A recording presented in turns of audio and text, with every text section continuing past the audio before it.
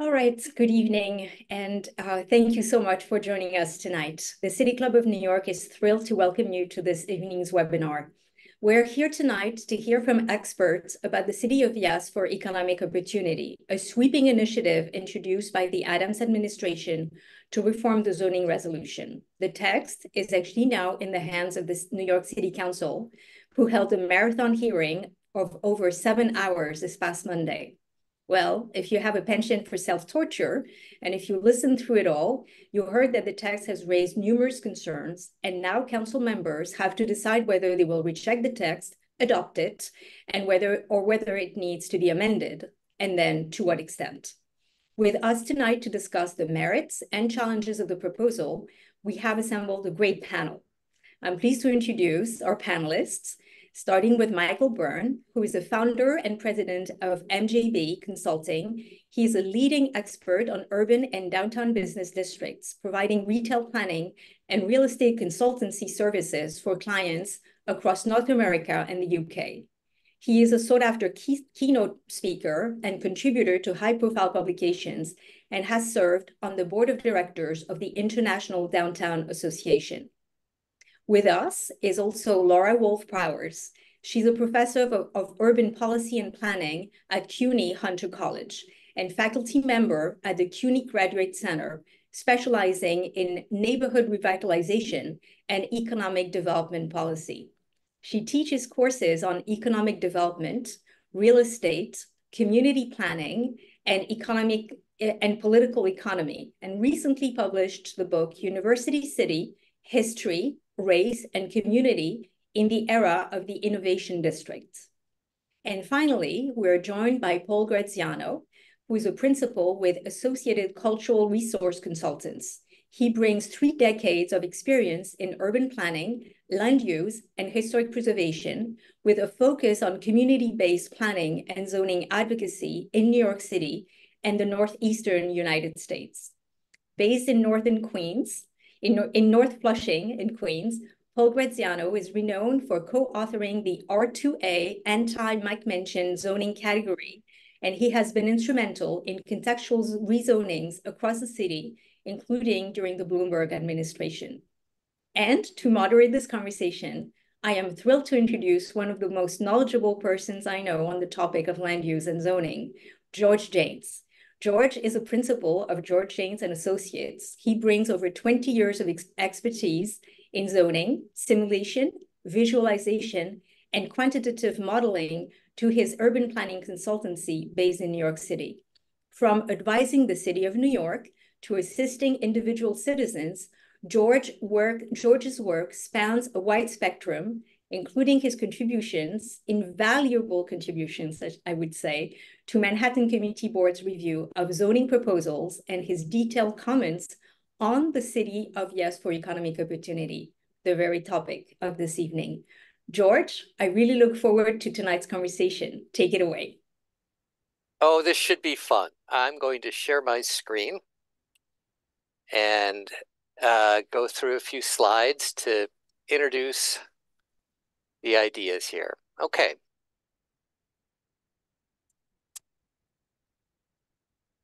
There we go. Okay, so City of Yes for Economic Opportunity. It is the largest change to how we deal with uses in the zoning resolution since zoning was adopted, or our current version of zoning was adopted in 1961. Um, it's a major change. It's over a thousand pages of zoning text. Um, the city has broken it down into these 18 topic areas to make it slightly more digestible. Um, we are definitely not going to go through 18 topics um, at all tonight. Um, instead, we're going to go into a deeper dive into a few topics, and we're going to focus on how zoning may change neighborhoods and how we experience our neighborhoods and how specifically these zoning changes might impact them. But first, where did all this come from, right? I mean, it didn't spring out of the head of Zeus fully formed, right? Um, this is a thousand pages of zoning text. Like, where did this did this come from? Um, and it really goes back to uh, 2022 um, during this effort where Mayor Adams and Governor Hochul announced something called a New New York.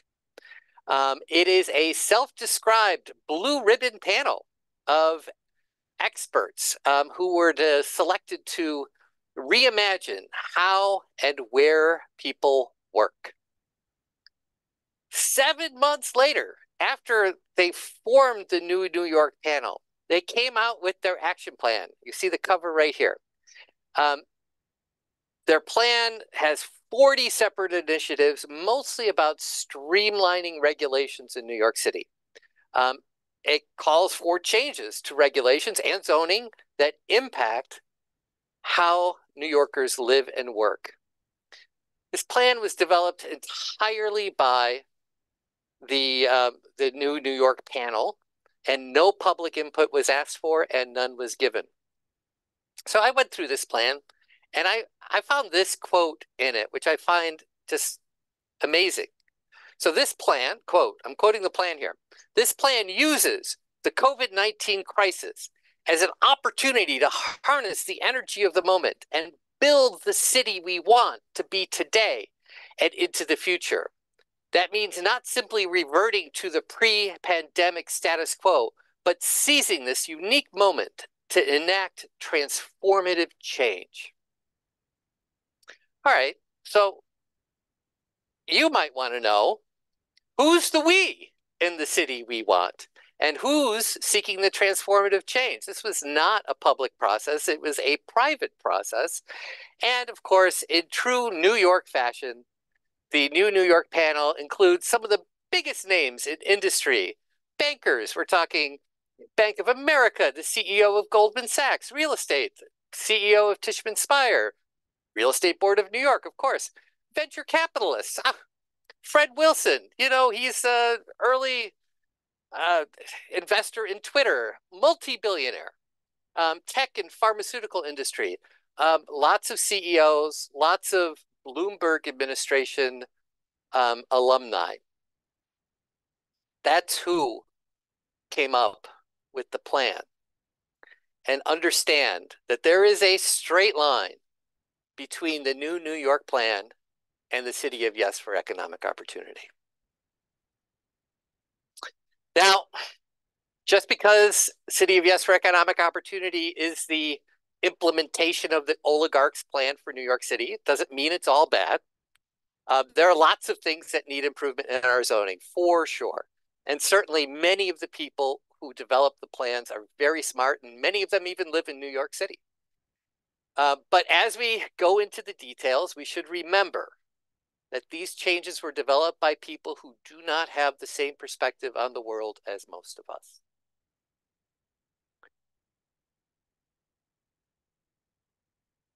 So, some questions for our panelists to consider. How will the changes impact local retail districts? Who do these districts now serve and how will they function in the future? One of the big changes in this is the vast expansion of uses in local retail districts. We'll be able to locate most manufacturing uses in local retail districts.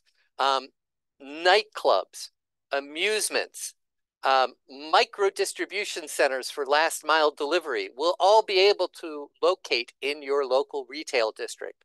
How will that change their function and how will that change their um, how residents interact with those areas? Number two, what is the future of the central business district? Um, how will these zoning changes change their future or, you know, direct their new future, right? So the use changes will allow essentially everything to go into the central business districts except for the heaviest, dirtiest industries, right? So manufacturing uses, amusements, you could have unlimited size amusement park style buildings um, going into the central business districts. You could have nightclub districts, um, live music, things like that can go into the central business districts. What does this proposal do to housing? Um, is some of it actually anti-housing? It's very pro-commercial and allows for um, residential floor area to be used for commercial uses in the home. It allows for second floor and higher commercial to be used in mixed buildings um, that we normally just reserve for residential uses now. And then finally, the last question is, why do we plan this way in New York City? Why are we implementing plans developed by the billionaire class? What? This is not how it's done everywhere else. What is wrong with us? Um, so those are the questions for discussion. I'd like the uh, panelists to now take a few minutes to um, talk about their issues and their perspective on the city of Yes. We're going to start with Michael. Michael, can you want to share your screen? Yes. Thank you, George.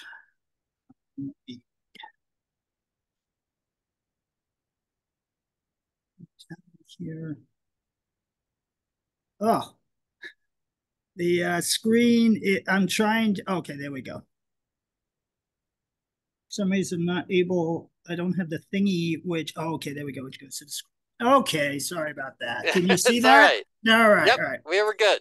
All right, thanks, George. I'm going to start with one of my favorite quotes. Um, you might recognize it from the start of the movie um, uh, The Big Short, uh, or if you're more literary than I, um, it's a famous Mark Twain quote. Uh, it ain't what you don't know that gets you into trouble. It's what you know for sure that just ain't so.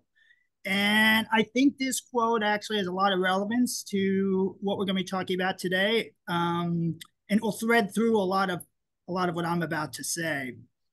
So first, just a few starting points to provide some context. Keep in mind, uh, my uh, very narrow focus and obsession in life is retail.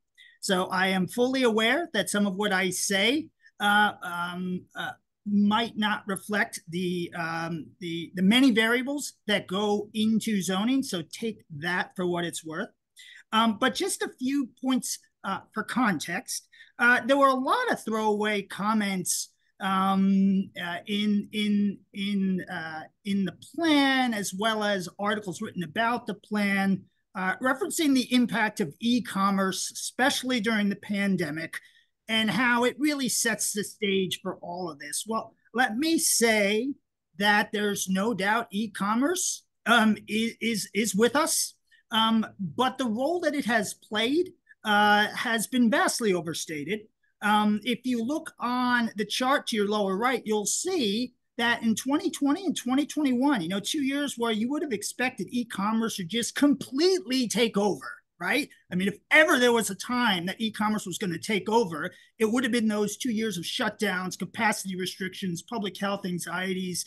Well, actually, um, e-commerce as a percentage of total sales um, grew by about the same amount as we would have expected it to have grown anyway, given historic trends, had there not been a pandemic, right? And that and that should tell us something that there, there's a ceiling to all of this. Um, not to mention also that tenants, retailers, have started uh, to see stores as critical to their business models. So, uh, you know, I'm constantly seeing references to e-commerce as driving so much of what needs to happen um, in New York City and elsewhere. Um, again, it's it's a bit overstated at this point. What I think's had more of an impact uh, in New York City is the contraction among some of the retail categories that have historically eaten up a lot of space in our commercial districts, specifically certain types of chain stores. The number of chain stores, according to the Center for Urban Future, um, is today almost 14% less than it was in 2019 in New York City. Um, chain drug stores, of course, being the most obvious, there were 606 among the big three in 2019. There's 435 today. Um, and that 14% does not even include the much lower number of bank branches, which have also been reducing their footprints with the rise in mobile banking. I think that actually says a lot more about why we have seen such elevated retail vacancy um, across New York City um, than e-commerce. But that said, you know, storefront vacancy in New York City, Manhattan in particular, uh, should never have been as high as it was even before the pandemic because there's just such a high density of residents, workers, and visitors versus a severely space constrained supply of ground floor retail space. In other words, the question to me, at least, has never been one of demand. You're likely used to seeing these charts that show the amount of retail space per capita in this country versus other countries. The conclusion is always that we're overstored. Well, that's not really true anymore. Even in the suburbs, um, supply and demand are in much closer equilibrium due to years of underbuilding, such that vacancy rates nationwide are actually at their lowest level since at least the mid aughts. If that's the case in the suburbs, then it should be even tighter in the cities, especially New York City, with the sheer number of people on the street, even, yes, after the pandemic. It's the sort of market which can normally count on what I call multiple layers of demand. In other words, those vacated stores, they should be quickly backfilling. And those larger spaces like the chain drugstores, they should be readily subdivided. The question is, why isn't that happening? Or is it happening, but slowly, not quickly enough for those who have to walk by these papered over windows every day? These are important questions to consider in a rezoning proposal like this, and I worry that our senses are a bit skewed by our own biases and perspectives. Yes, there's been a lot of storied names that have disappeared or have shrunk considerably. There's no longer Barney's, there's no longer Lord & Taylor, the Gap has faded into irrelevance. Many cherished mom and pops have disappeared, but that's often conflated with some sort of retail apocalypse, partly because those of us who write about such things in newspapers grew up with these brands and long thought of them as fixed points in the universe. But the reality is that for all the people mourning their demise or decline, there's many more celebrating the arrival and spread of Warby Parker, of Five Below, or other new boutiques. Rather than some apocalypse, retail's been experiencing more of a changing of the guard ever since the 2010s that aligns to some degree with generational shifts. My thesis or my worry then is that this surety about some sort of retail apocalypse, about the inevitable domination of e commerce, about the lingering trauma of the pandemic might be leading us astray. In communities where I've been working across the country, it has left us more susceptible to the requests of property owners and leasing professionals that the floodgates be opened to all sorts of non retail uses in ground floor spaces, even in retail districts which were or are very likely to recover on their own from whatever short term pain they were or are experiencing during or before the pandemic. Some of that seems to be going on here as well, uh, with what George referenced the whole um, the flexibility now granted to clean manufacturing uses and micro distribution hubs in in on in neighborhood commercial districts, even when they have no retail presence whatsoever. With the provision now for dance studios and instructional facilities at ground floor, and I worry that it is all a premature and with certain kinds of tenants irreversible. Because once a well capitalized and creditworthy tenant in these newer categories materializes, it will be awfully hard to dislodge. In some cases, I also worry that it provides an easy out for certain private sector actors, a sort of moral hazard for a lack of imagination and creativity, or an unwillingness to do what's necessary to land a more traditional retail use. Don't get me wrong, in some districts where storefront vacancy has proven especially stubborn over the decades, such relaxation might be warranted. And there's no doubt that in almost all types of districts, traditional retail uses have become a bit harder to come by. But no one said that this was going to be easy. And for a long time in New York City, at least with regard to retail, it was. But times have changed. And again, this is New York City where the levels of foot traffic in a neighborhood commercial district likely exceed those for 90% of the downtowns across the country. Maybe we just need to expect more, at least in some places, in many communities, in collab, sorry, maybe we just need to accept more, at least in some places. In many communities, in collaboration with city officials, energetic landlords, and sophisticated brokers, I've been helping to develop hierarchies of districts and streets based on the leasing potential on the ground floor holding the line in some cases, providing greater flexibility in others. Part of this is a matter of thinking about how retail districts are defined from a planning perspective. To me, it should also consider, to a greater extent than it does, what the district as a whole might need in order to realize or preserve a certain kind of ground floor tenant mix. This should be based on, on a typology of districts and streets similar to the one developed long ago for shopping centers by the International Council of Shopping Centers. What specifically do I mean by that? Well, districts and streets play different roles or they have different niches retail wise. And that's okay. Not every neighborhood commercial district is or should be the same. We want an ecology of these roles and niches. Some districts are for comparison shopping. That's goods we tend to comparison shop for clothing, shoes, furniture. Some are for food, beverage, and entertainment. Some are for neighborhood conveniences. And such an ecology is what makes for a more interesting and indeed diversified city. Zoning then should be designed in a way that preserves, reinforces, and indeed helps to scale these niches, partly by ensuring that other non synergistic uses that can generally afford to pay higher rents and would offer more credit to landlords do not present direct competition for the space. George already noted the threat that clean manufacturing can pose to local convenience oriented businesses. Here's another example. In retail, there's this concept of critical mass, which means that put simply, whenever a district's niche focuses on one of these comparison goods, right, like apparel, shoes, cosmetics, accessories, home decor, the arrival of additional retailers in these categories typically results in returns to scale for everyone. The bigger, the better, in other words. That's why we have super regional malls. Um, but if their number, the number of these retailers falls below a certain threshold, below that critical mass, the appeal to both consumers as well as other retailers weakens and then abruptly collapses with the industry's well-known herd mentality taking hold. In other words, if zoning allows new uses that might be more appealing to landlords, it will jeopardize the critical mass and inadvertently trigger a downward trajectory. Now, some simplifying across districts is certainly called for, but the push for consistency and simplicity in this city, in this city of yes seems to go a bit too far in a number of cases, to the point where it potentially undermines the fragility of niche. We see this on Madison Avenue, where now there's going to be provision for manufacturing, clean manufacturing, light auto repair, nightlife, amusements, we see it along the Fulton Mall, where now food and beverage will be permitted on the ground floor. We see it in our neighborhood commercial districts with micro distribution, uh, with again clean manufacturing uses like 3D printing shops. I mean, I, I do retail for a living. There aren't many 3D printing shops out there, at least open to the general public. Um, there might be in the future. There aren't now. So I don't know where that one actually came from. But I guess it comes from the notion that these don't have to have a retail presence, right? Um, now, to plan and regulate an ecology like this, it requires a lot of work, especially in an incredibly complex city of 8.4 million people. But not to be flippant, that's what taxes and planning departments are for. Okay.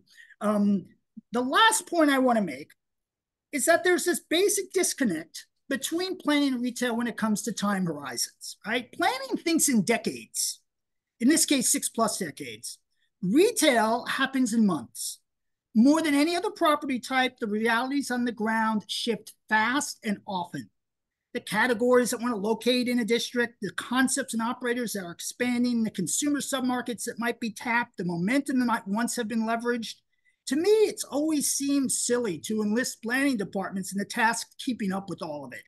Given how long planning processes tend to take, the new definitions and quote unquote clarifying language have often already become dated, if not irrelevant, by the time the whole thing is approved. Zoning, in other words, at least in my mind, will always be outdated and restrictive. I mean, this exercise right now has included the updating of terminology that was last done 60 years ago. It's a fool's errand. An attempt is made to update different kinds of amusements to the present day, but come on, we all know how faddish that can be how quickly that space will move on. In effect, this whole exercise is simply kicking the can down the road until the next City of Yes in 2087. Clearly, there's a need for more frequent updating or an entirely new paradigm for dealing with the ground floor. I'll be interested to hear your thoughts, but now I'm going to cede the floor to the next of my excellent co-panelists. Thank you, Michael. Yes. Um, if you can stop sharing your screen, great. Thank you.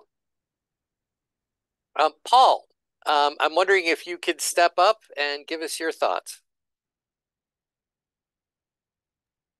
I'd be happy to. Um, I have a slightly different take. Uh, I, I, it's it's hard. I bow to Michael. He is an absolute genius on the retail end of things.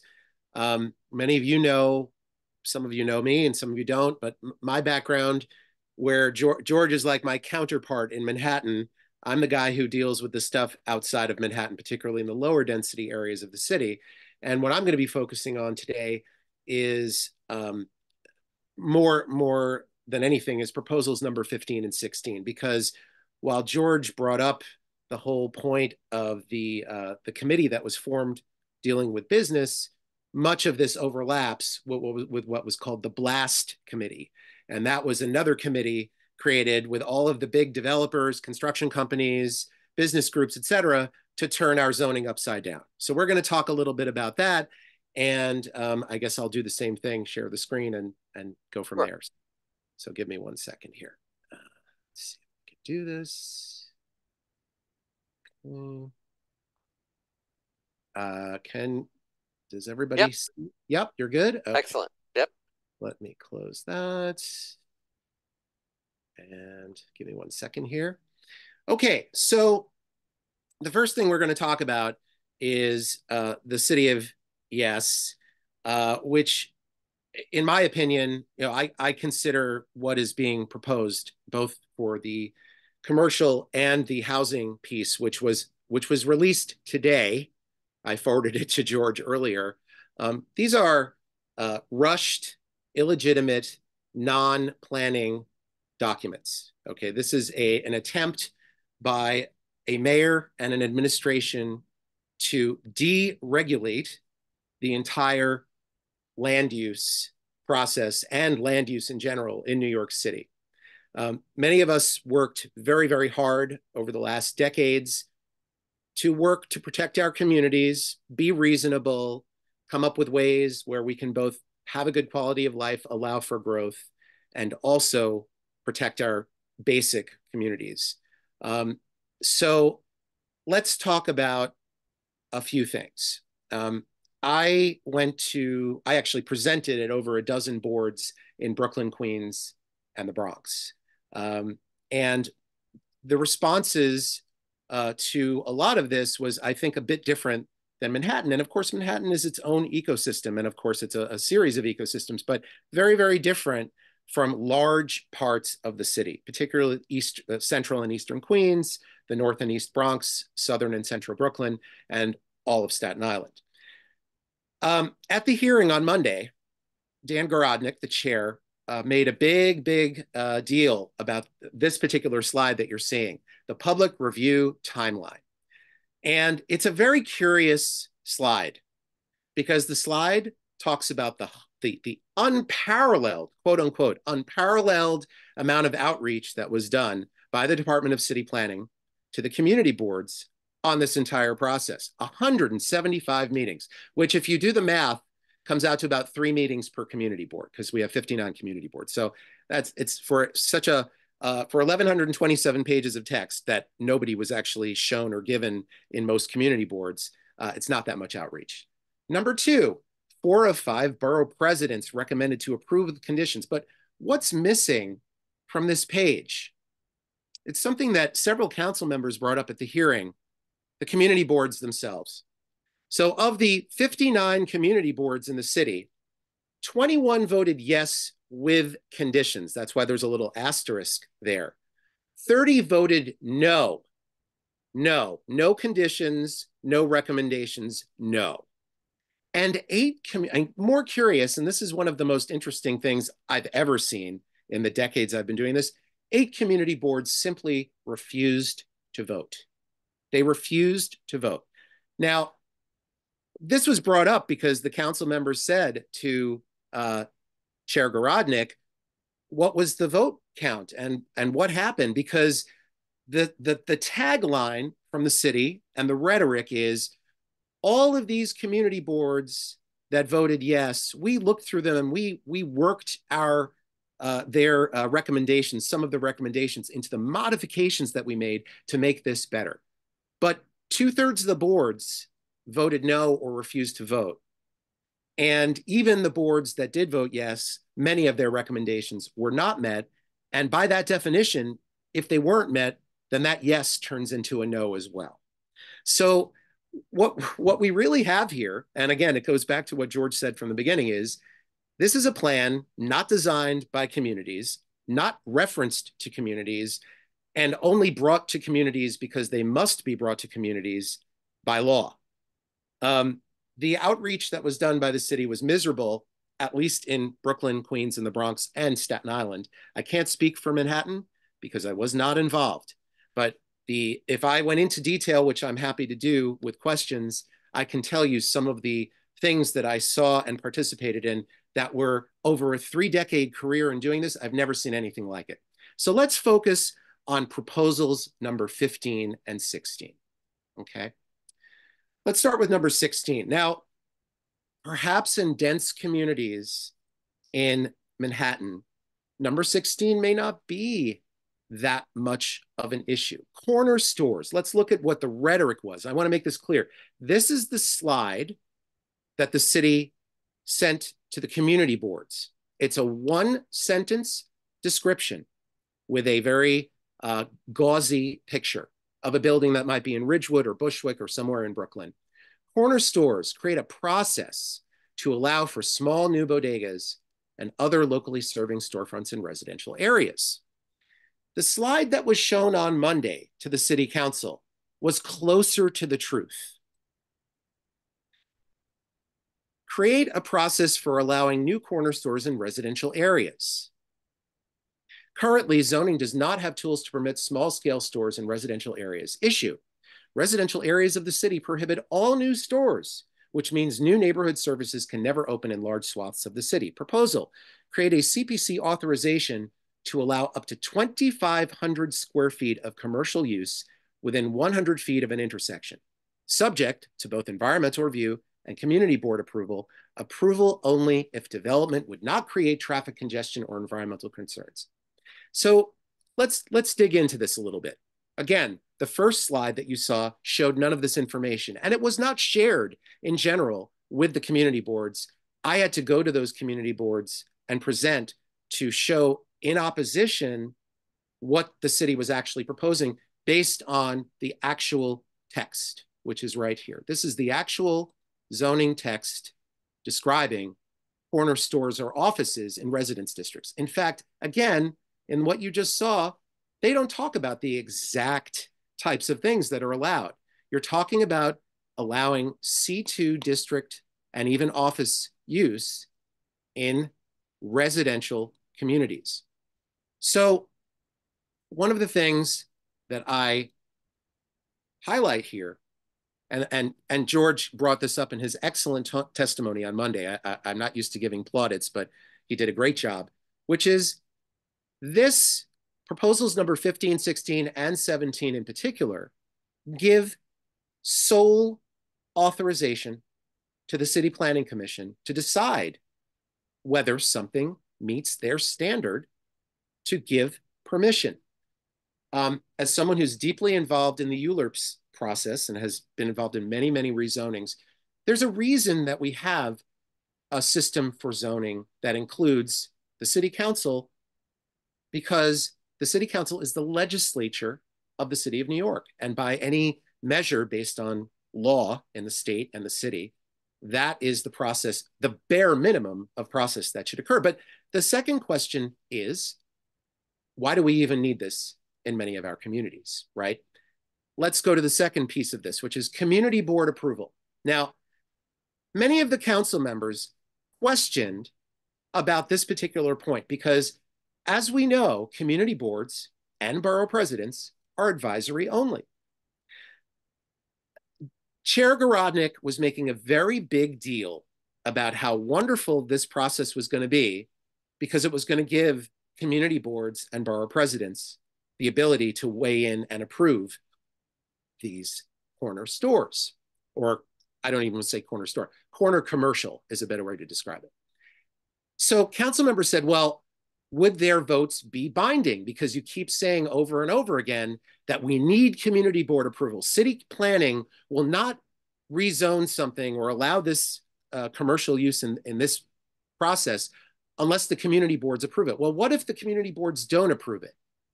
And over and over again, the chair kept saying, well, they are essentially, they are only advisory. They are only advisory. So it's very clear that, again, if it's only advisory, it's only advisory, no matter how much we'd like it to be otherwise. So again, you're giving sole authority to the City Planning Commission. Now, part of the narrative from the city on this has been we want to allow this because, you know, every community should be able to have this. Now, in in my dozen meetings at various community boards around Brooklyn, Queens, and the Bronx, this was questioned, particularly when the issue of serious amounts of vacancies in every community board came up.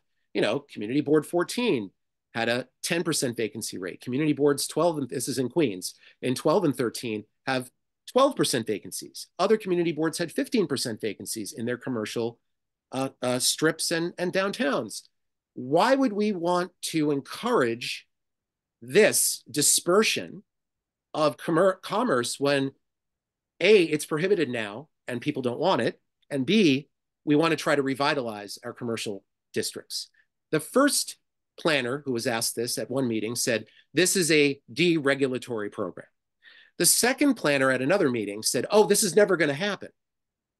To which I responded, well, if it's never going to happen, why are you proposing it? No answer.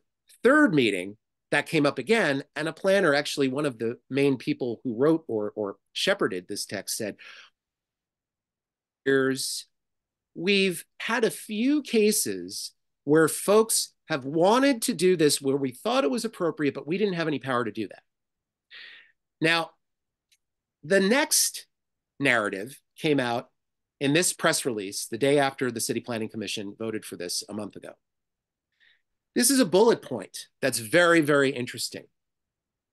Create a process to allow new corner stores in residential areas as approximately 265,000 New Yorkers currently living in areas where a new corner store could not be located within a quarter mile of their home.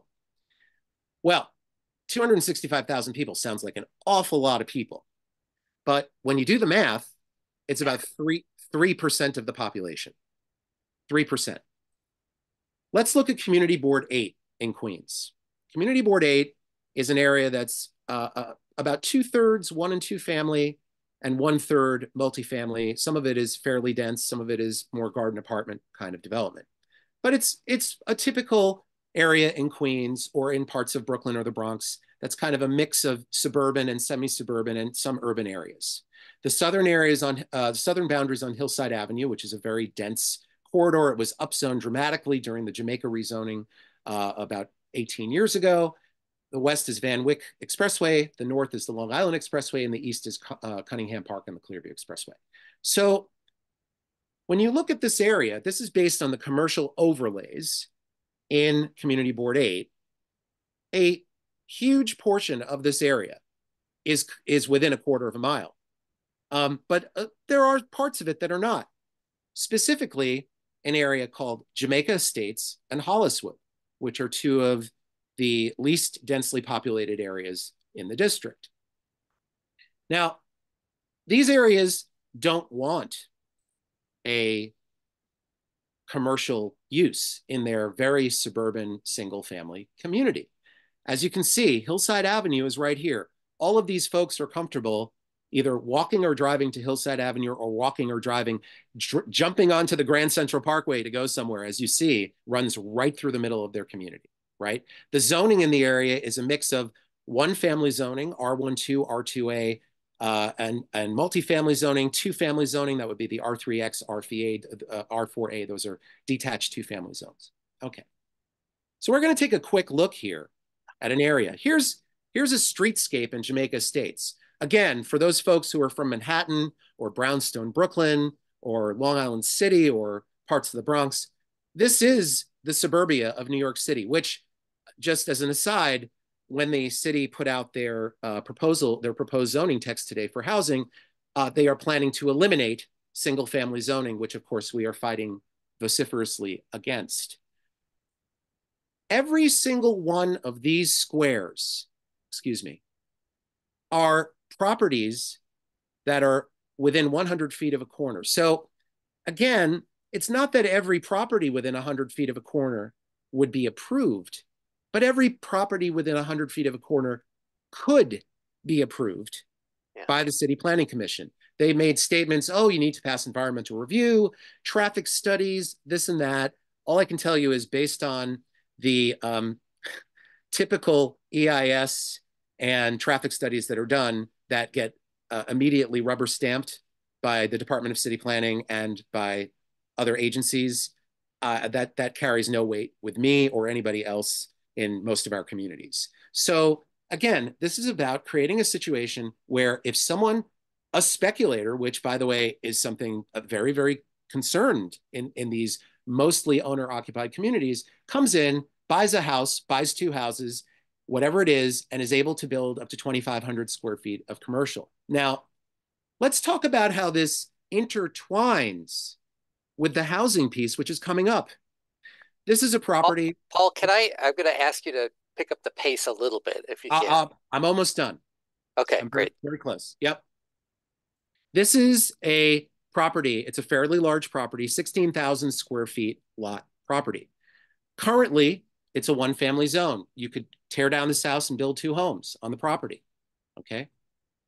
Under the uh, proposed housing pr proposal, uh, this could become a multi-family ADU as of right with multi uh, multiple houses with accessory dwelling units. And if it's in a transit zone, it could become a 33 unit apartment building. And the reason I'm bringing this up is that the proposal number 16 dovetails with this proposal.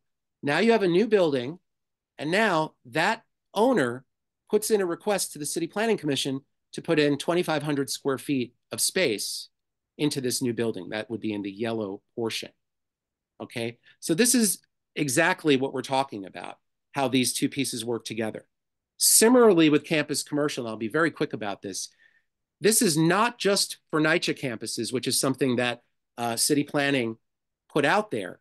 Uh, again, it seems to be focusing on NYCHA, but the text says 1.5 acres or more any property 1.5 acres or more can be divided by a street, can be in multiple lots under single ownership, can apply for up to 15,000 square feet in any residential zone. This is Bayside, Queens. This is a uh, this is Bell Boulevard right here on the right. Bell Boulevard is a commercial, major commercial area, Northern Boulevard, Bell Boulevard.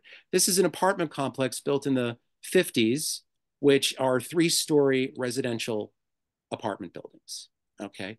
That's right here. Now, based upon another piece of the housing, which calls for infill on these properties, increasing floor area, et cetera, you've now got a new building that can go on what is currently not allowed to be built on because of the FAR, and an entire ground floor with 15,000 square feet of commercial.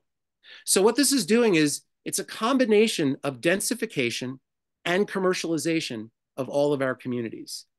And that is my presentation. Thank you. Great. Paul, thank you for that. Um, if you could stop sharing your screen. I'm doing it right now. All right, yeah. super. Um, Laura, um, you're up.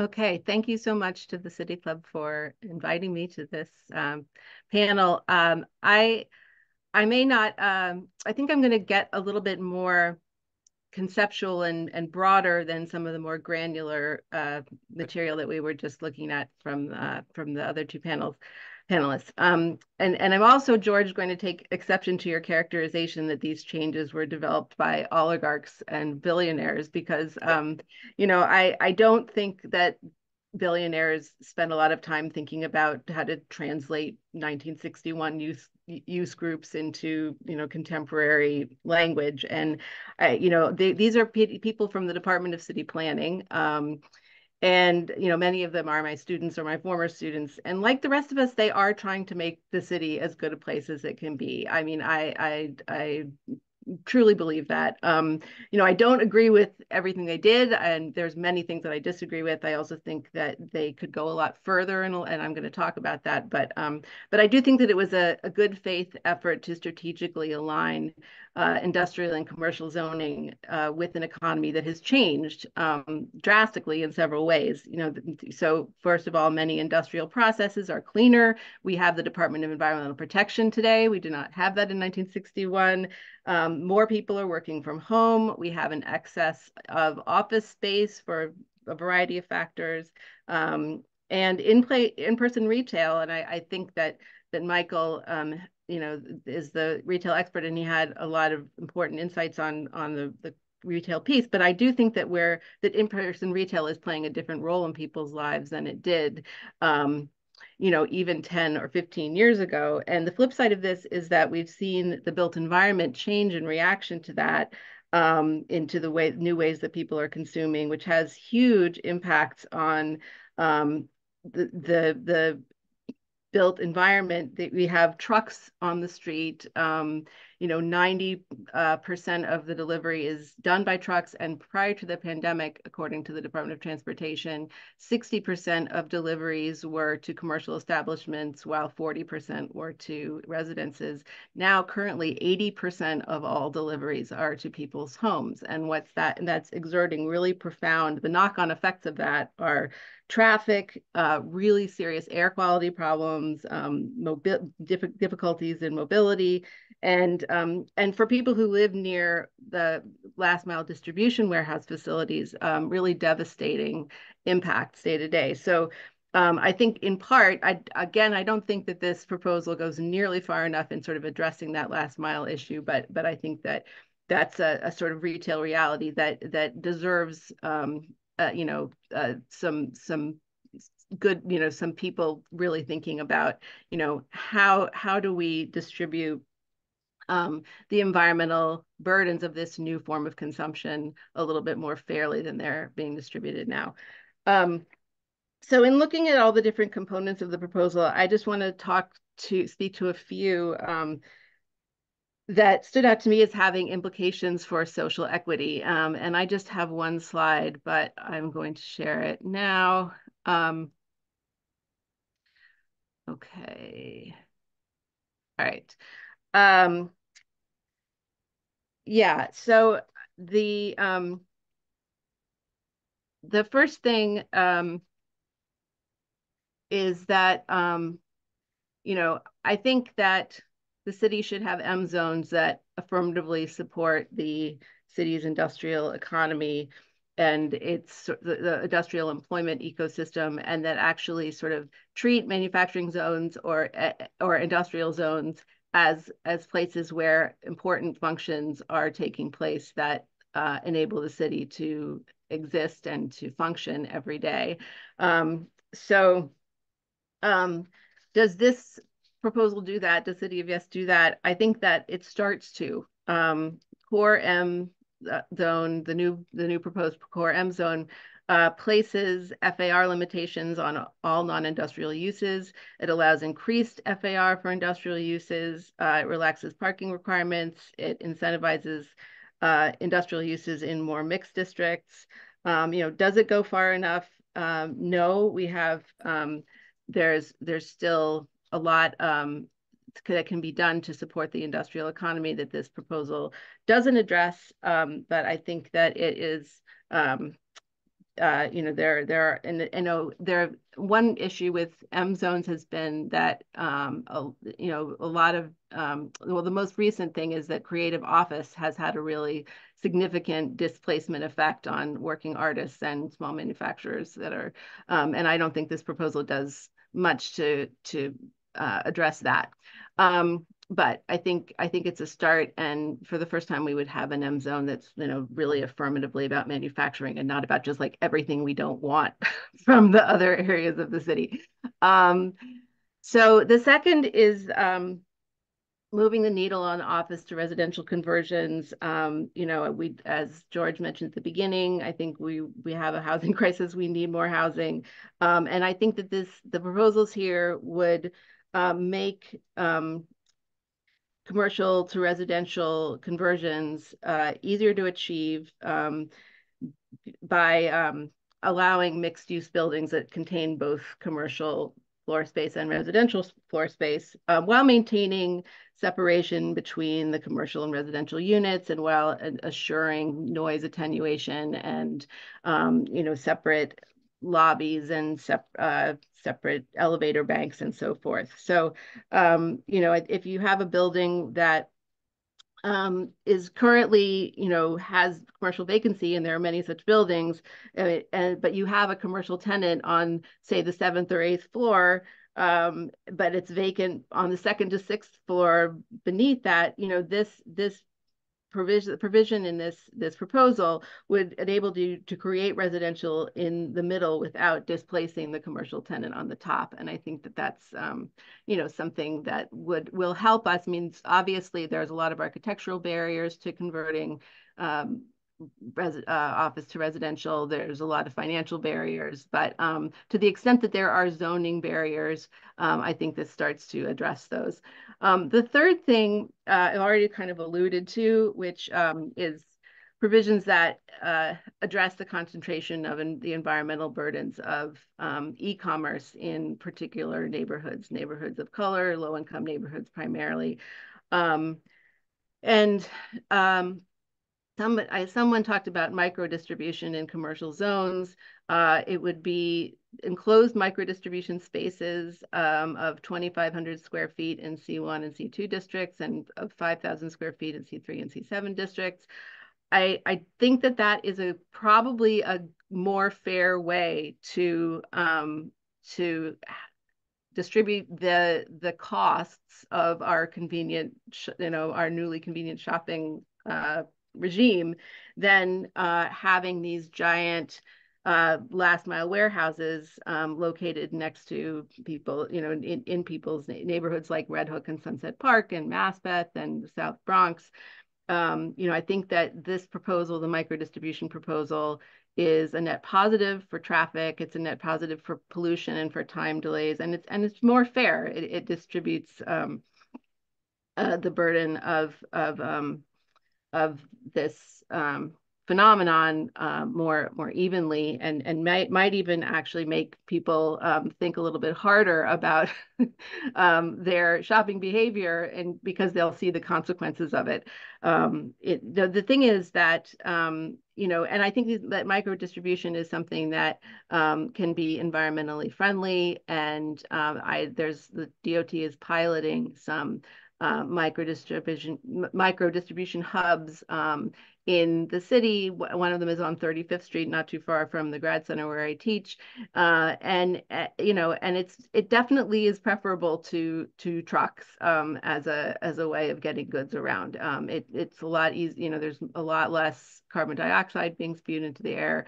Um, so I I you know I support that aspect of the proposal. Um, and however, um, I think that the, the, the proposal it doesn't even provide like a definition or a, a use group for last mile warehouses at all. Um, and in that sense, it's really um, by you know dodging responsibility for um, planning for the the digital economy and and its impacts on the built environment.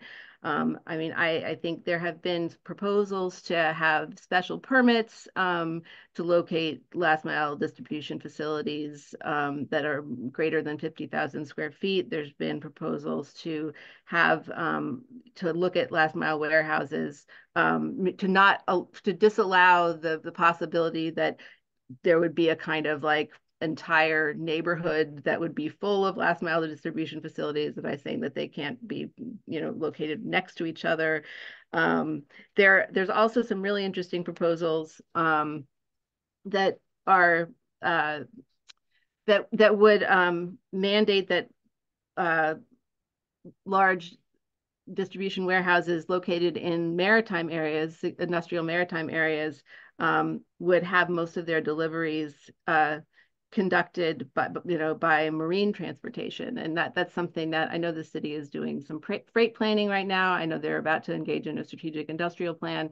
And hopefully they'll really start thinking more about how the waterways can be uh, an alternative to to the streets because um, you know really people are um, are breathing a lot more uh, truck exhaust, um, you know, particularly near these these facilities than than they need to be.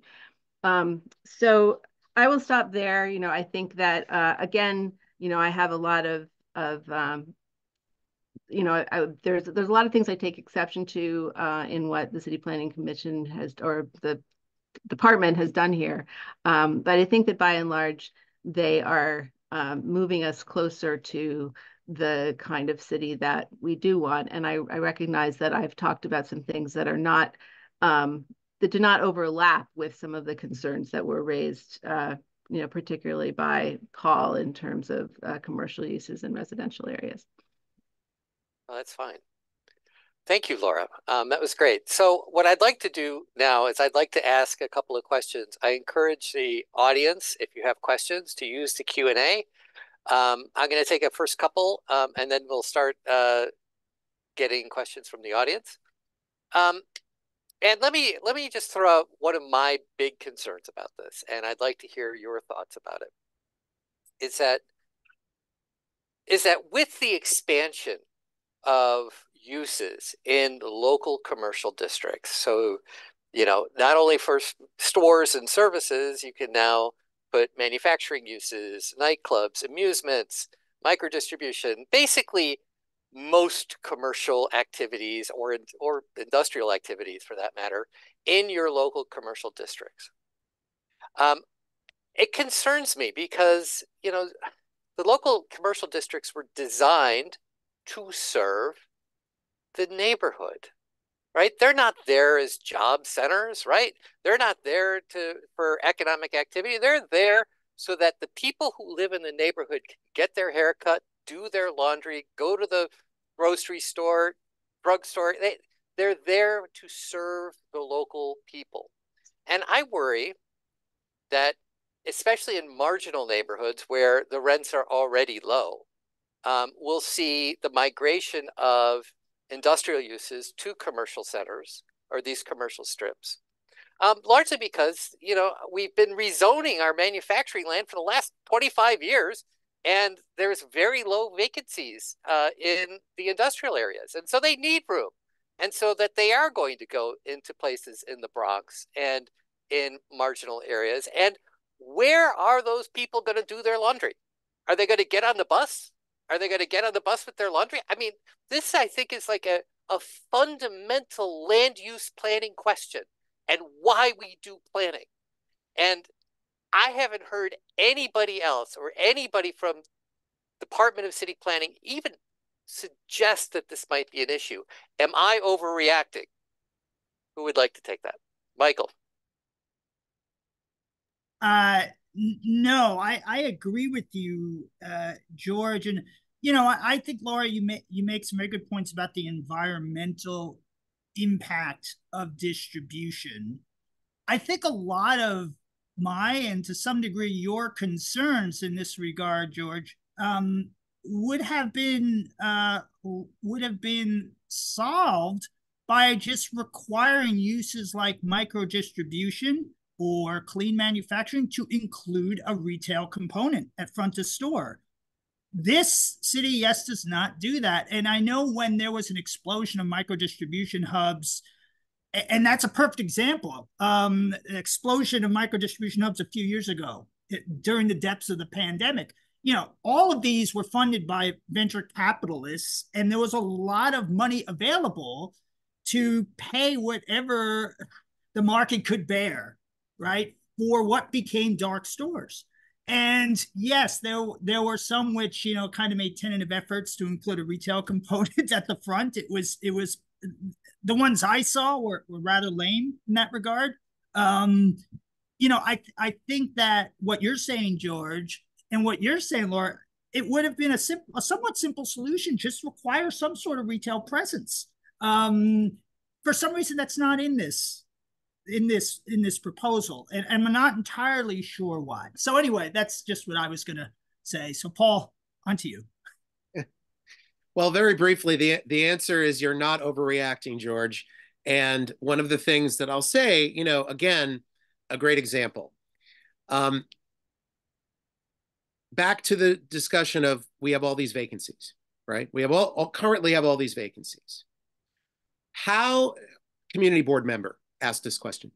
How is going to expanding home use to allow three employees, for example, and a broad set of uses going to help the commercial strips.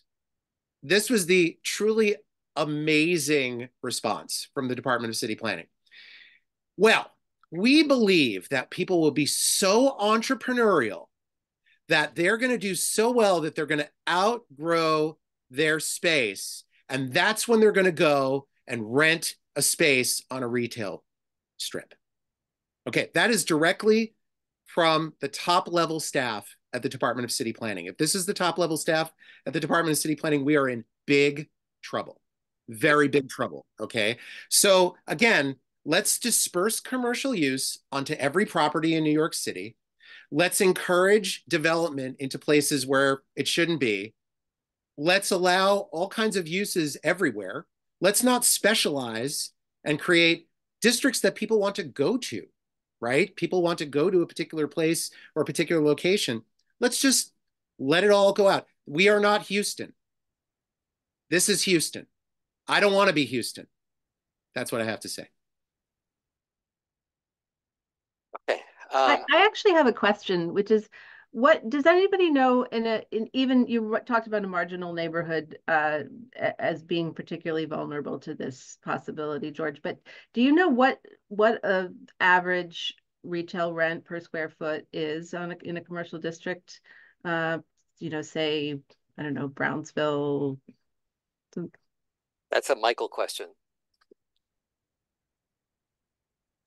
Um, I'm not entirely uh, sure about Brownsville specifically. Obviously, retail rents uh, range very widely from the $2,200 per square foot on Fifth Avenue to to considerably lower per square foot rents.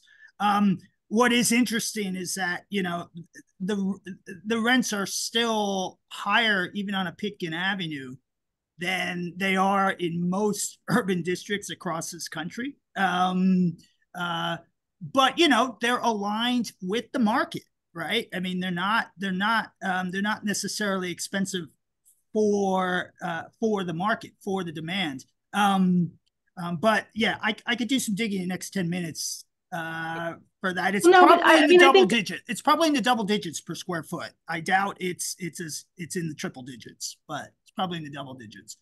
Right. Well, I mean, I guess I'm just going to express some skepticism that um, you know, manufacturers typically need, you know, they're they're they operate um, you know, 24 to 30 dollars. 30 dollars a square foot is very high for a manufacturing operation.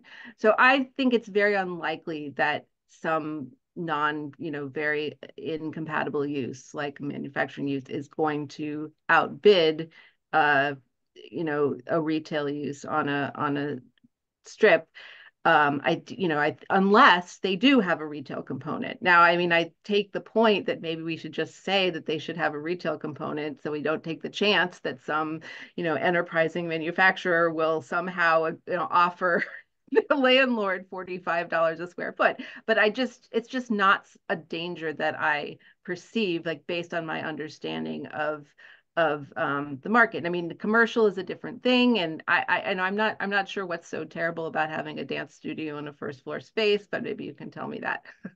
No, I, I mean, uh, I'll quickly say this because I know we don't want to get. Um, I'm not saying the dance studio or the educational institution is is is bad in and of itself. I worry that it, and that you know that could take space from another use. Um, you know that that particular district's niche is, is more directly aligned with whether it's a dry cleaner, whether it's a laundromat, um, and that those uses are, are are not ones which need that visibility to the same degree.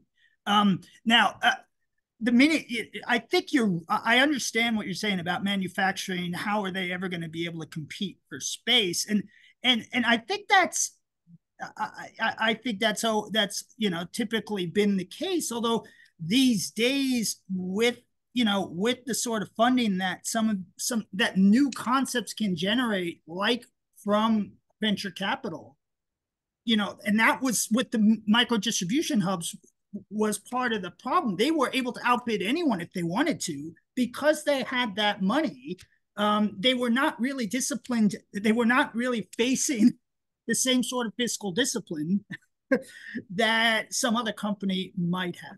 Um, you know, and so with money going into those sorts of experiments, um, you know, that that was that's why I brought up that example. But anyway, I'll stop. All right, I'm going to ask another question uh, for the panelists. Uh, uh, another one of my concerns is um, it's similar to what I said about about uh, the local commercial, but it has to do with the the the central business districts. What is the future of the central business district? So um, we are going to be allowing manufacturing uses in office buildings. We are going to be allowing um, entertainment uses. We're going to, be, you know, nightclubs, uh, live shows, music. Um, we can allow for an unlimited size um, amusement park uh, in C4, C5, three C6 districts, right? Um, by unlimited size, I mean only limited by FAR bulk requirements, right? So, you know, you could have Disneyland New York City um, open up across the street from JP Morgan's new headquarters as of right, as of right, with no special permit, no environmental review at all. Um, is it acceptable? Is it something that's, you know, we should allow for the market to determine where some of these really large, impactful uses go? Um, should uh, the city be determining the direction of their central business districts more centrally? Or is this something that's better left to the markets to figure out? Anybody? Michael. I'll talk unless either you two want to talk. I've already been talking a lot. Paul, Laura. I'm I'll I'll jump in for a second. Yeah. Go. Okay. So, you know, it's interesting because uh, there's a big proposal. Uh, I don't remember the exact location, but I, I believe there was a big uh, proposal to put in a a ride in a thousand foot tall new building near Times Square that was like a big drop ride yes. went right and that's like 300 or 400 foot drop or something like that so clearly that fits the definition of an amusement for this particular proposal right well, okay so just uh, the, ride that, yeah right? so the ride the ride there was permitted as an accessory use to hotel Correct. Um, they did extraordinary zoning gymnastics to get that approved. Yes. Um, yeah. And so that ride will become, as of right, correct everywhere. Yes, now, exactly. Without any zoning gymnastics. Right. Right. Exactly. So, so again, um, you know, I'm a community-based planner. I'm someone who works with communities. I do not work with developers. I do not work with government. Well, I work with them when they cooperate and I fight them when I don't. And I don't work with nonprofits in general because they all have interests. It's their own personal and monetary interests. It's not the interests that are going to be affecting the community. So, in my opinion, again, this is all deregulatory. I am not in favor of deregulation. This is not what we should be doing in this city. Layla, I'm wondering if you have any thoughts on this because you know you're you're a member of District Five in Manhattan. Yes, indeed. Um, so you know, I, I think that, and I want to thank the uh, the the panelists. I think you're providing some really very very insightful uh, uh, points to to this uh, to this topic that is complex. Uh, but you know, looking at it a little bit more broadly, what I see, and I would love to hear you uh, talk about, is you know, to echo what Paul is saying is there a trend towards deregulation? Because, you know, we see it in the city of Yes for economic opportunity very clearly we see it and you know we have not digested yet the entire 700 plus pages of uh, the uh, housing opportunity uh, draft that just dropped uh, but you know it suggests that we're going into the same direction. And then separate of that uh, in the state legislature we have a number of bills uh, that are actually making their way that also go towards deregulation including the faith-based affordable housing act um, that in essence in the text and you know whether you believe that the merits are, are good or not uh, but in the text it basically uh, states that it would mostly entirely overrule the zoning resolution uh, you know, provided that you comply with what is in, in the act, then the zoning of your local municipality no longer uh, applies. Um, is this the trend? And, you know, we, we see a, a big push by, uh, you know, mo a movement, a YIMBY movement, uh, that is hard at work, very well funded, very well organized, you know, in California, but also here uh, in New York, uh, with you know some groups that have set up super PACs and that are you know uh, you know bragging about the fact that they are launching multi-year, multi-million dollar effort to actually promote this vision. Uh, is this what is at play, and what to do about it? So Paul, uh, I, I'm, I'm sure you have some some thoughts. Yes, let me let me and let me quickly say because unfortunately I have a, a hard deadline to leave in about six minutes. Unfortunately, I, I mentioned that to George at the beginning. So, um, so yes, I mean uh, to answer your question, look, this is big real estate. This is a national movement. A lot of it is based on false uh, false statements, and they're not statement of facts. Um, this is, you know, do we have a housing crisis or do we have a housing mismatch? Do we have a retail crisis or a retail mismatch? These are two very different things, right? We have we have been uh, just briefly, we've been in a, in a housing crisis in New York City since 1948. Every single year since 1948, that's 76 years we have been in a housing crisis, as defined as less than 5% vacancy rate in the city of New York. So population went down a million. Population came up one and a half million. Now we've been down 600000 in the last five years. It, it's not something that you can just make blanket statements and rewrite history to to to you know curve your narrative to justify what you're trying to do. So for those of us such as myself and i think george can be in this category as well and many other people but george can speak for himself i would say very clearly this is a a rush and a grab to get as much as people can get to turn everything upside down to make it very easy for them to do whatever the hell they want. Period. Yeah. Laura, oh, go ahead, Laura. No, go. I, I, I would love to hear your thoughts, Laura. About whether this is a kind of part of a deregulatory trend. Yes. Well, and, and whether it is good, bad, ugly, or uh, should we be indifferent? Well, I think the zoning code in and of itself, I mean, talk about something that uh, was uh, initially uh, conceived of by by wealthy elites. Um, you know, we have a zoning code in this city that reflects the interests of the powerful and the wealthy. It that that is what exists. I, I think we can debate whether these particular uh, proposals on the part of the city planning department are are likely to un you know wh which things that they're uh, they will undo that are you know to kind of provide more uh, broad-based economic opportunity and which which might be um, you know facilitative of um, speculation and land grabs and and kind of you know big big real estate plays that that end up ruining neighborhoods. But but I guess I don't I don't think of the the current zoning that we have as being particularly fair or particularly in the interest of a lot of communities. Um, and so I'm not so concerned about deregulating.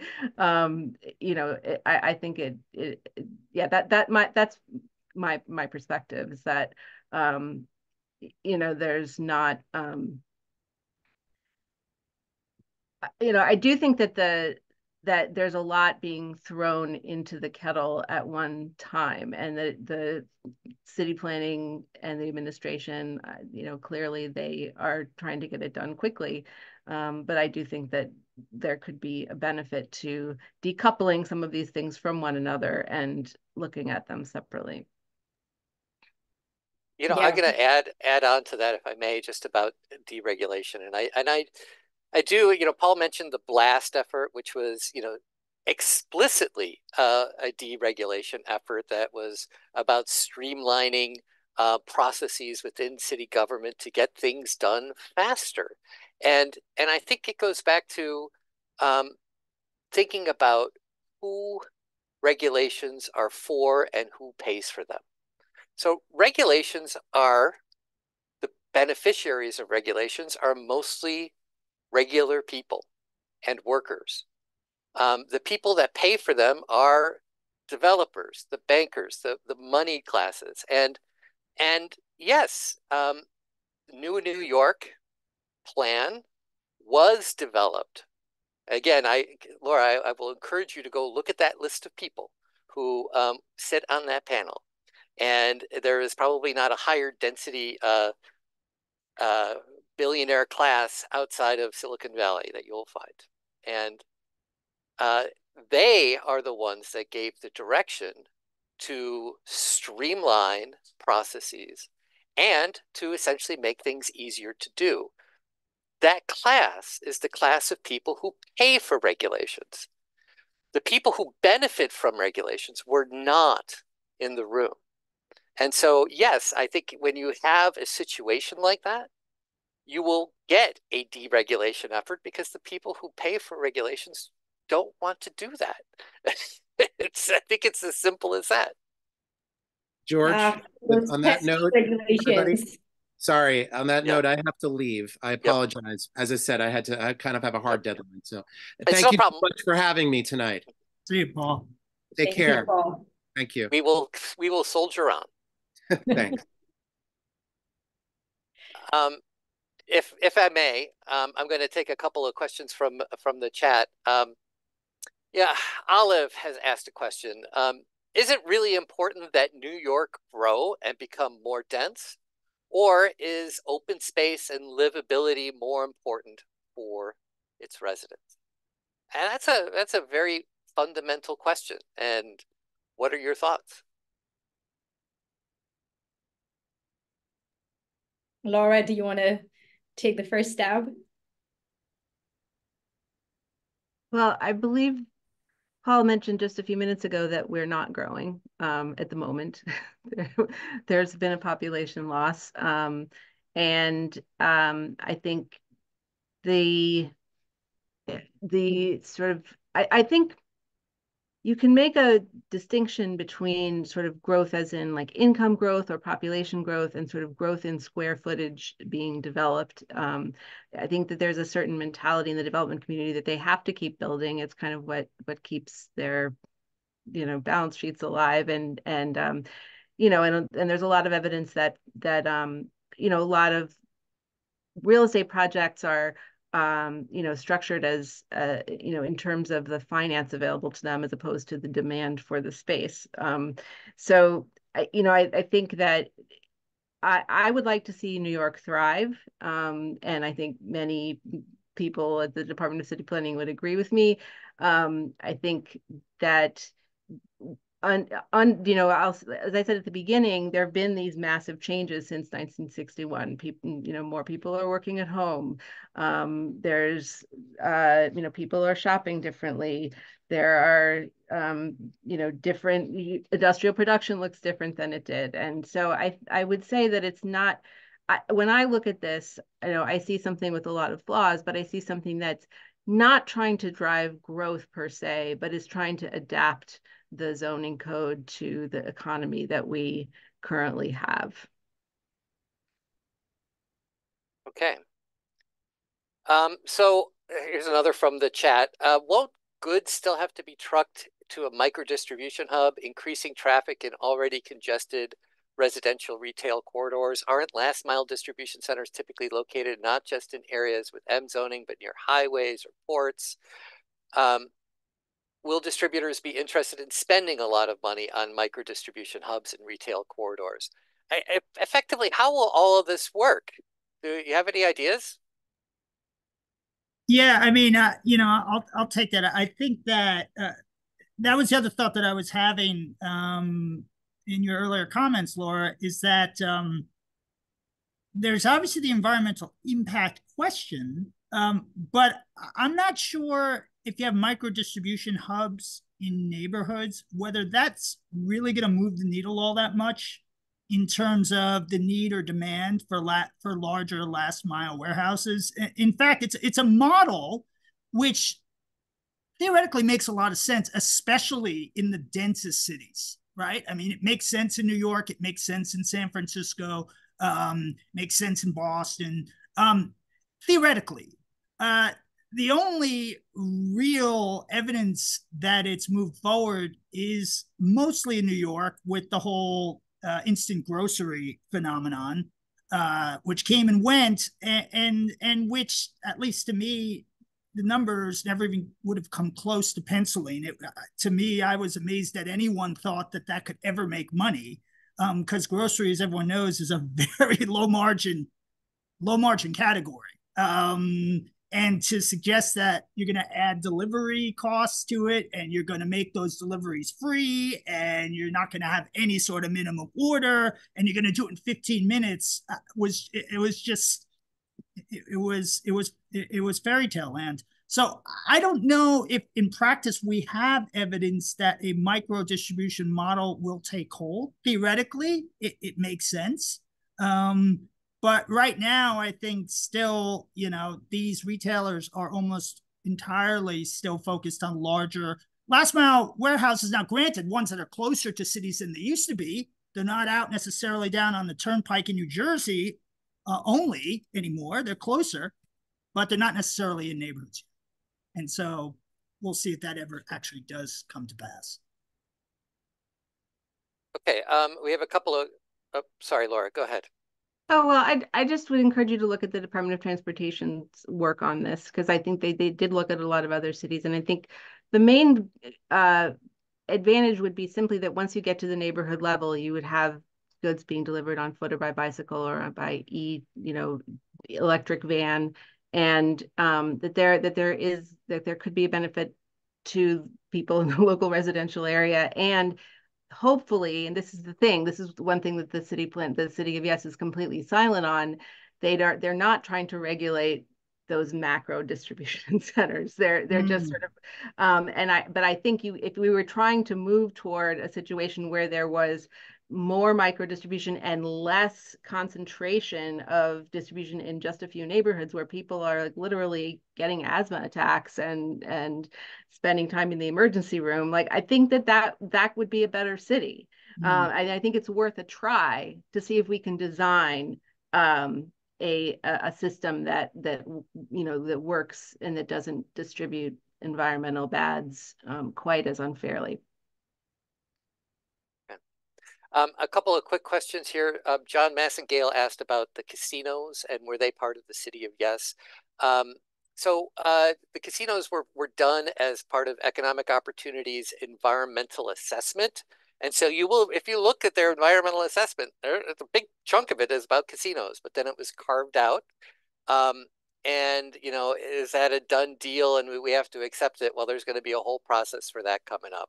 Um, and it's going to involve the assembly members, it's going to be different than the processes we normally follow on that. So I think uh, But on, on that, George, uh, if, if you can underscore the fact that there will be no ULURP for casinos. So I think it's also part of this de deregulation trend where you know the the ULURP has been usurped uh, and uh, casinos will be deemed as of right provided that they have been sited by a state uh, agency or authority um, the you know the, the, gaming commission. So long as they have the approval of the gaming commission, the city will actually play a technical support role in uh, helping the uh, you know the design of uh, of the the casino and and you know the type of uh, you know specific cues where the egress goes, the signage, and all that good stuff.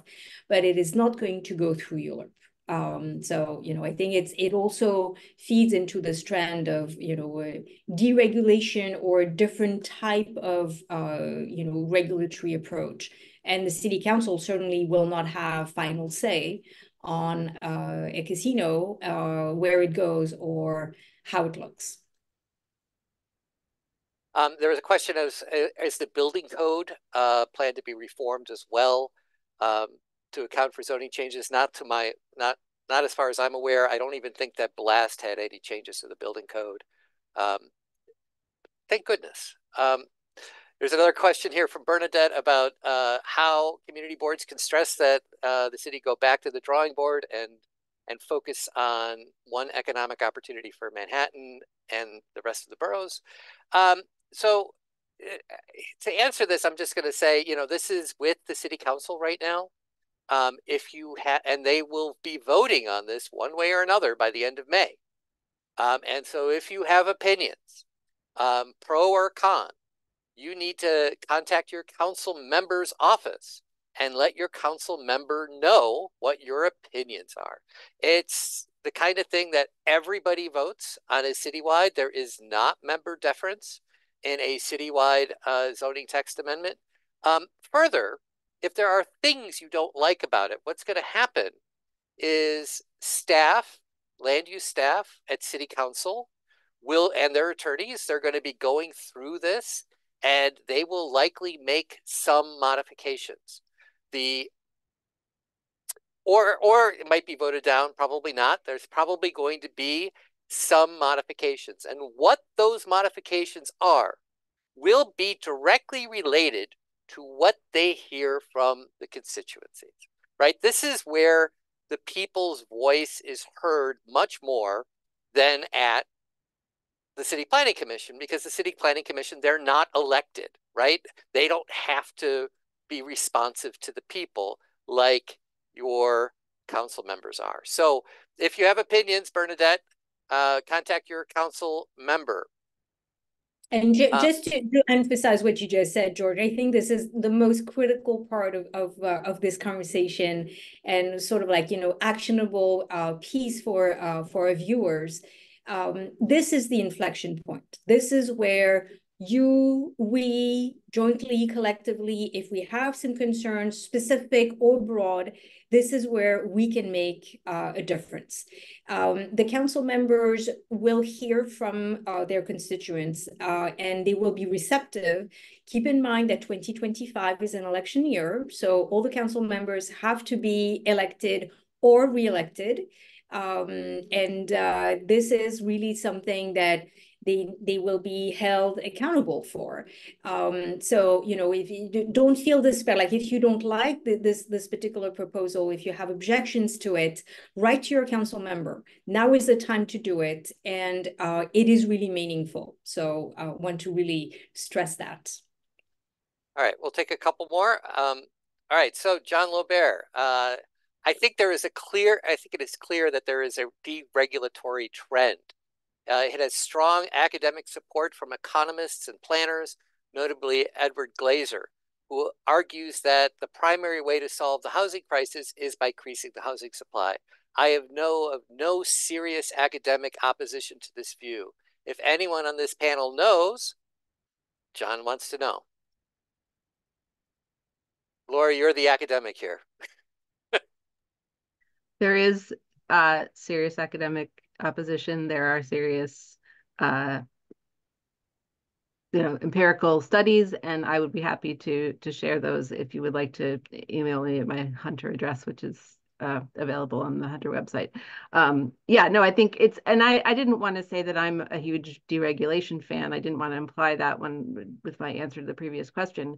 Um, and when it comes to um, uh, when it comes to uh, the the idea that housing supply eh, that that we have a supply crisis, um, I I do not agree with that. I think we have a, a, an affordability crisis or a mismatch, I guess, as, as Paul said, um, and um, that, that can be resolved um, with supply, but not supply that is being uh, furnished by people who are concerned only with the return on investment that they're going to be getting. So um, that's uh, in general. I, I, you know, this is get this is veering. This conversation has veered a couple of times into a discussion of uh, the housing proposals uh, part of the, the city of yes and um, i want to kind of stay in the lane of the economic proposals uh, but i you know i think my my uh, um, you know, I would have a different set of remarks if this was a proposal, if this was a panel on housing. And, and actually, thing... actually, if if we if we can uh, stay on the housing lane for a quick more uh, longer second, uh, just want to mention that uh, on May seventh, uh, the City Club is going to organize an event, uh, a webinar with Patrick Condon, who is a professor with the University of British Columbia, and uh, Cameron Murray, who is an economist uh, from uh, Australia. They are both actually very serious, and you know they published books very recently, uh, and uh, they are of the view that the supply and demand theory does not work. Uh, so I'm very very excited that you know we're we're going to have this international perspective, you know, from very well established you know members of academia who can actually you know bring a different light. Uh, and you know, may maybe we'll invite Glaeser, and who knows, maybe he'll say yes. But stay tuned. Uh, May 7. Yeah, and if I could add a little bit about the whole deregulation trend, I, I um I think that uh, retail and commercial are a fundamentally different animal because we don't we, we, we don't live there. Uh, um, in the end, it's a lower, it, it, tends to be of lower priority to your average human. Um, and, you know, I, I, I think that YIMBYism is going to be far less fierce when it comes to retail and commercial than it than it has turned out to be for, for residential. Um, I think, you know, in, in answer to your question, George, you had asked about central business districts and, you know, and how you know, what kinds of amusements, for instance, should or should not be permitted there. You know, I will say I'm inclined in general when it comes to retail, food, beverage, entertainment, uh, uh, to allow more in a central business district because while there are no doubt conflicts, it's kind of like living underneath the flight path of an airport and then complaining about the noise, right? Uh, you know, it's like you live in a central business district um, you know, there's benefits to being close to everything and there's drawbacks. um, and, and, more to the point, I think it, at this point in time, given that central business districts are, you know, facing some manner of existential crisis, to, to let the market come up with with some possible solutions, some of which will be a little zany, um, others which might actually gain traction in a more enduring sort of way. I think there there might be more advantages to that than than than not. Um, okay. Just a thought. Uh, yeah, no, it's a good comment. Yeah. All right, uh, Layla, we're we're after eight. Um, yes. Yeah. So um, maybe our panelists want to give some closing statements uh, before we say goodbye. Uh, maybe uh, starting with you, Michael. Mm, uh, thank you, Layla. Well, well, first of all, uh, thanks to, to Layla and the City Club for having us. Um, uh, I've enjoyed this, and, and it's obviously an important topic. Um, you know, I, I think in my uh, closing remarks, you know, I, we've said a lot today. Um, we've talked about a lot of different issues. Um, you know, I think whenever retail is involved, you know, the tricky part about it is that we all do it. Um, we we all buy goods, we all buy services. Uh, a lot of us caffeinate, uh, a lot of us drink. Uh, most of us go to the movies from time to time, so on and so forth. And so we all have opinions about it, and it might seem easier and and and, and more straightforward than it in fact is. And I think um, you know, there's actually a lot of nuance and complexity, which uh, City of Yes, to its credit, has addressed in some respects, but not as much in others. Uh, and so, you know, I think overall there's a lot that's good about this. Um, but especially with retail, you know, the, the devil is is is in the details. Um, and there are a few details which still give me some cause for for concern. So that that's that's what I'll say. I, I um, but thanks a lot again for having us, and um, thanks to my fellow panelists. Thank you, Michael. And yeah. turning to Laura. Um, yes, thank you for having us. I think uh, I would just reiterate my former comment that the zoning code that we have is an accretion of, you know, many uh, special interest uh, acts actions over over many years. it, it is not. Uh, I kind of take exception to Paul's um, notion that it's that only uh, ordinary people benefit from regulation and only uh, businesses pay for it. I think it's a little bit more complex than that.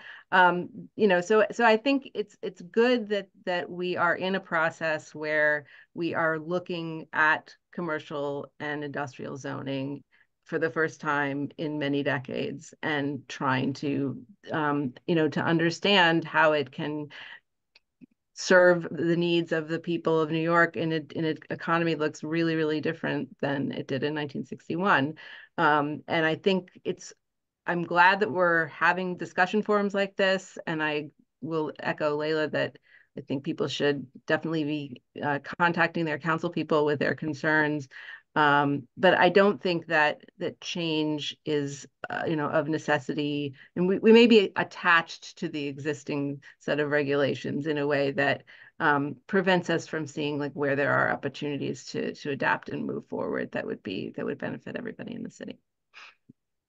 Thank you, Laura. Uh, George, uh, do you do you want to uh, give your closing moderator remark uh, before we say goodbye? Yeah, sure.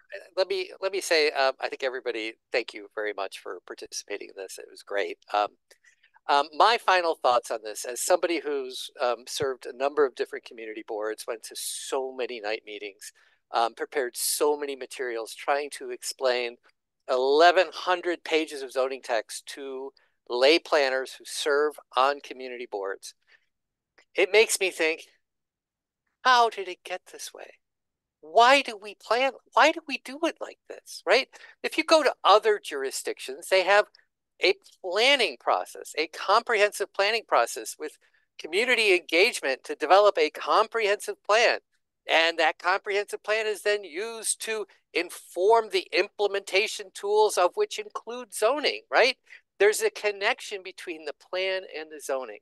And here, this was dropped on us with a ticking clock. And to the credit of Department of City Planning, you know, they gave extra time to community boards for their for their comments, um, which was well used. They didn't have to do that, but they did.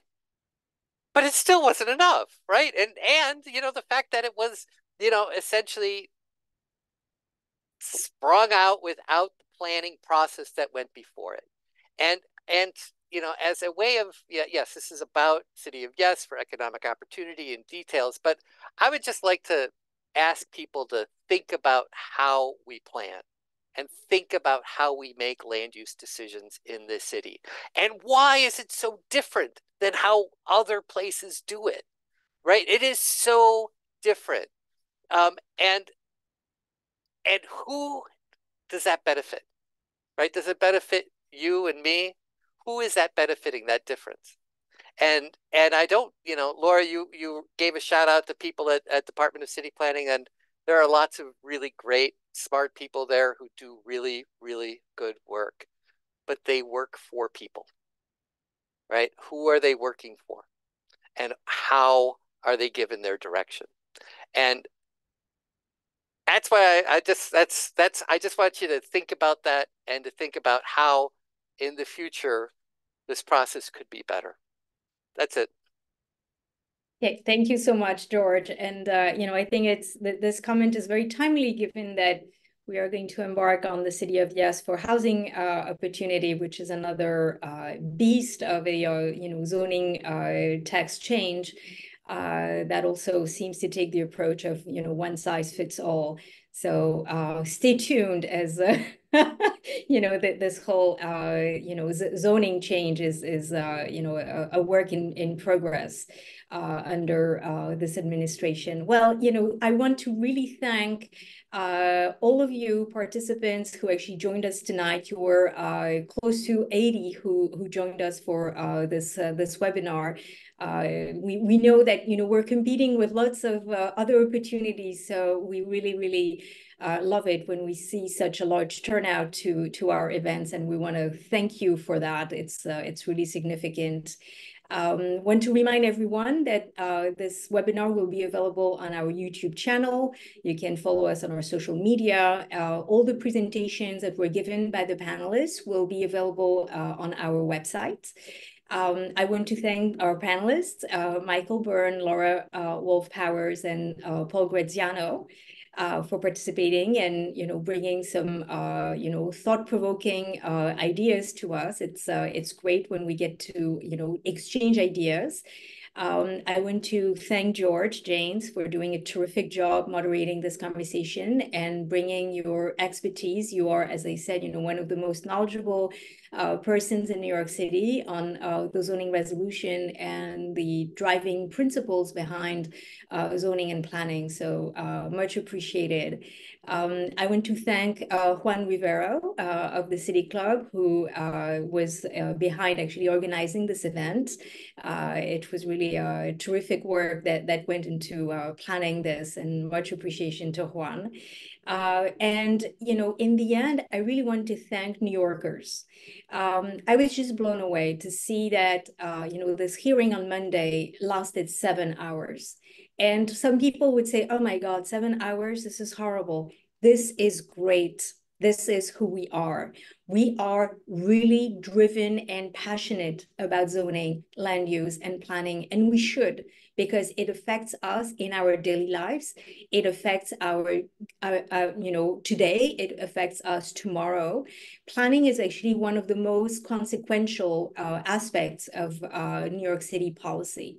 So thank you to New Yorkers for being so passionate, so involved, and please continue to participate to the, these hearings, reach out to your community boards, to your council members, to your representatives, your assembly members, senators, uh, our voices matter. And, uh, you know, I think it's really energizing to see this level of uh, participation. So with all of that, once again, thank you so much. And I wish you a wonderful evening. Goodbye, everyone. Thank you. Bye now.